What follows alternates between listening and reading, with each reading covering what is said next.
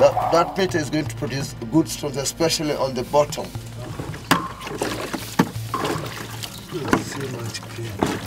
This is the golden yellow and the blue.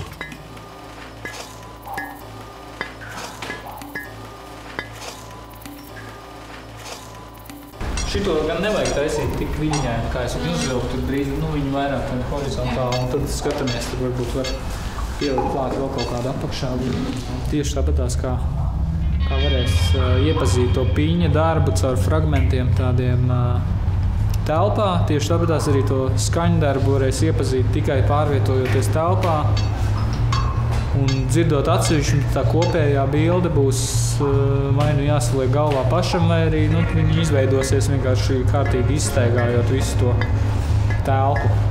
Nu, viņiem tas viss tā strādā arī, nu, kad viņi tur lien ar tiem lukturīšiem un tajā pazemē kaut ko uzķer, kaut kādu āderi, un tad baigi tur uzreiz tiek viss daudzīts tā. Nu, šajā gadījumā nebūs daudzīts, bet nu, es ceru, ka ar to lukturīti varēs uzķert kaut kādu to fragmentu, tad tālāk jau tā skaņa varbūt tev aizvadīs.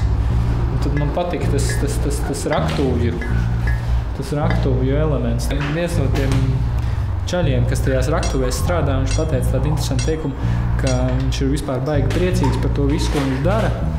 Jo viņš iznes no tumsas gaismā tos dārgakmeņus, un nu, viņš tā kā piedalās tajā, tajā. Viņš apzinās, ka viņš dara kaut ko labu, jo pateicoties viņa darbam, tiks nu, radīts kaut kas uh, skaists.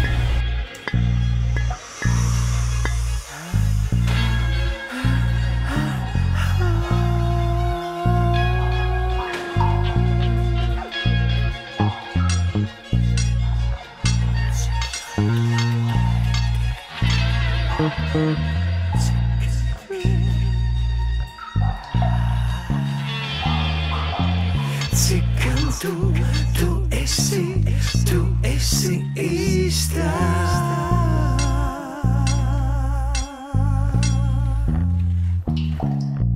they come from the darkness, they're going to the light. They've been in the dark for too long. Since the creation of the world, they've been here. So now they, they need to come out and see the light. It still goes down, huh? It's another.